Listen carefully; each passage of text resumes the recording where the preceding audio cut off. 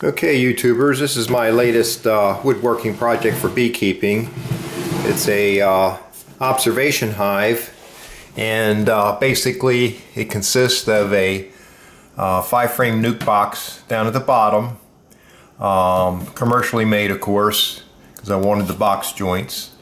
It has a screen bottom board with a mite uh, board below it and uh, the queen excluder here is a plastic clean queen excluder which we cut down from a full-size one and just as a mock-up we have a picture of some bees with a queen in it.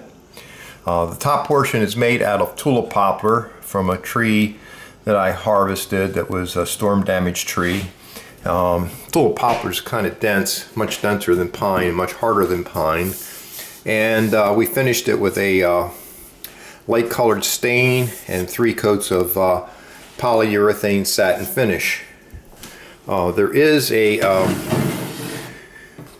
little hole in the front so you could add an additional uh, tube to run the bees outside if you want to use this inside your residence.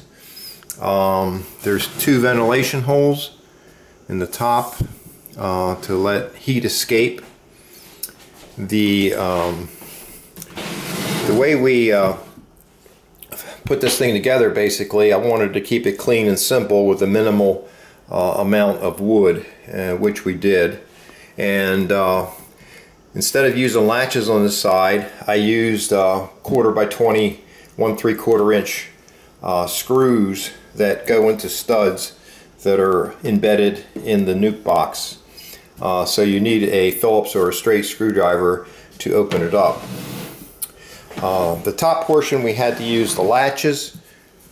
We have latches on each side.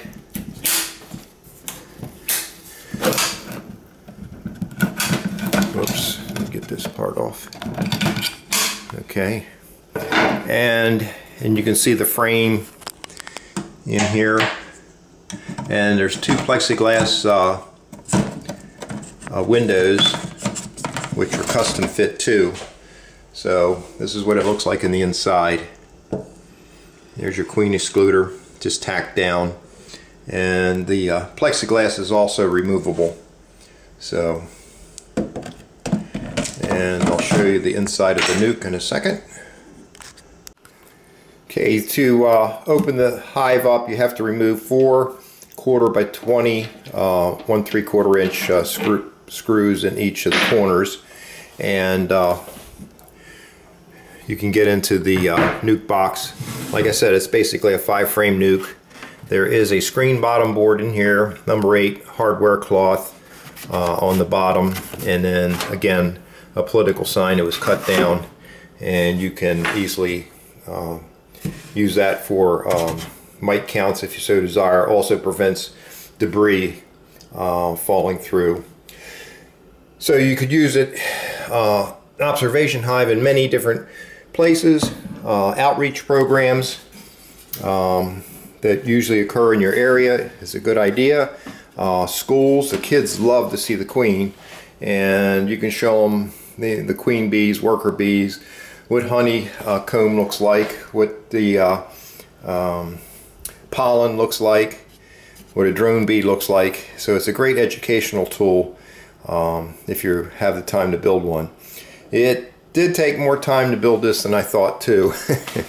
but uh, it came out really nice. The finish is really furniture quality finish, so it's not really made to be left outside. So, um, but I think it'll get a lot of use. Uh, so anyway, that's how to make an observation hive.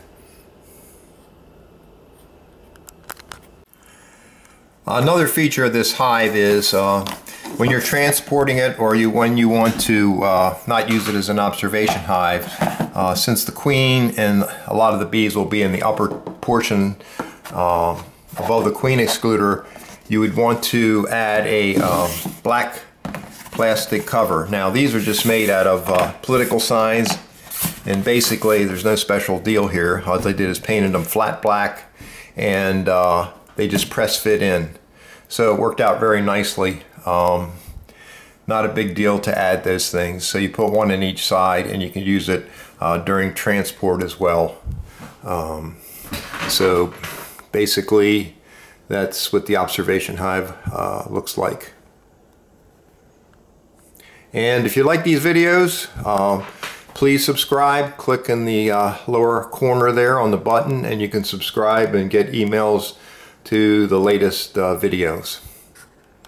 Be happy.